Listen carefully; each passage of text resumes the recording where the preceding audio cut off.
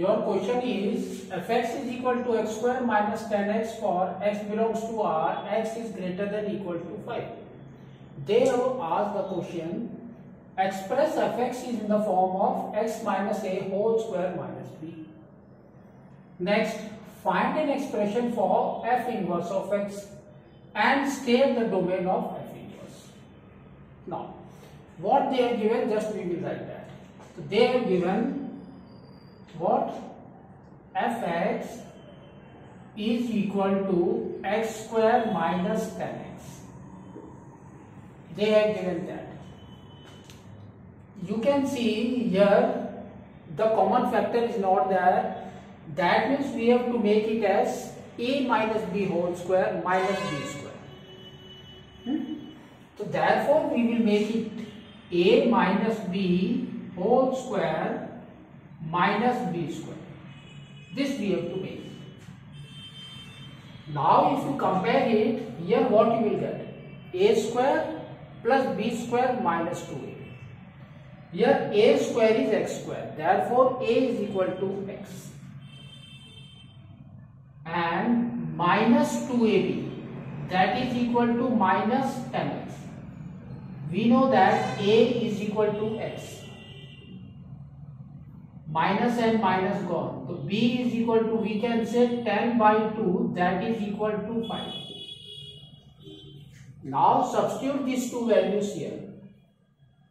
We will get a minus 5 whole square minus b square that means 25. So this is your expression in this form. Now what they have told see that Find an expression for f inverse of x. So we have to write in f inverse. Hmm? So we know that this is nothing but fx.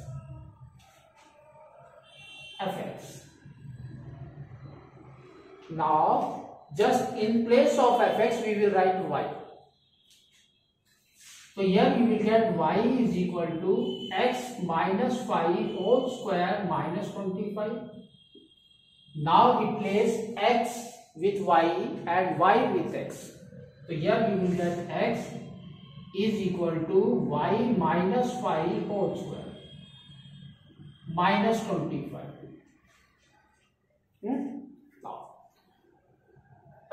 now you can see bring this plus 25 this side. What it will be? It will be y minus 5 whole square that is equal to x plus 25.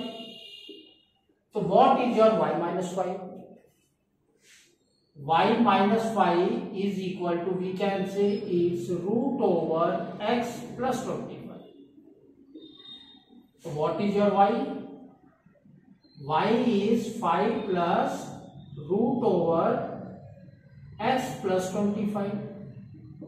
So this y what we get after the replacement that is your f inverse. This is your f inverse.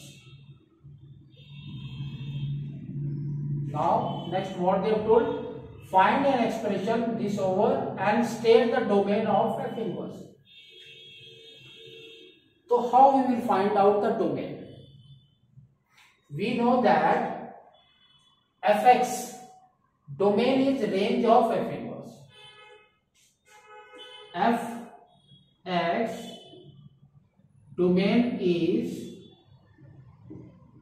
range of f inverse. And fx range is domain of f inverse. So now we will find out the domain. You can see they have told the domain. That means we have to find out what? This one. That means range of fx. We will find out. How we will find out? They have given x is greater than equal to 5. Just take the value. x is equal to 5. So what is your fx? x square is 25 minus 10 into 5. So 25 minus 50 that is equal to minus 25. Now we will take greater than this that is 6. X is 6. What is your fx? 36 minus 60. That is equal to what it is? Minus 24. Now you can see the value is increasing in negative. Therefore, we can say range is what? Range is greater than equal to minus 25. Greater than equal to minus 25. This is your range for F inverse. Sorry, this is the range. So therefore, the domain of F inverse is this one. So we can say this is of domain